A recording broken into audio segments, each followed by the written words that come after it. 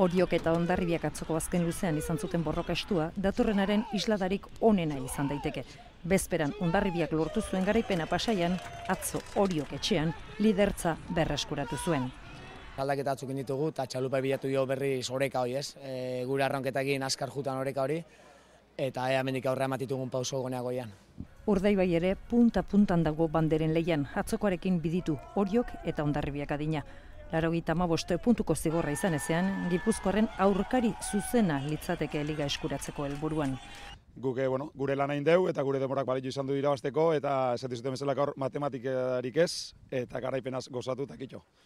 Kaiku girriste egin zuen orion, liga urrundu egintzaio bizkaitarra untziari, amabost puntura dagoelako orain.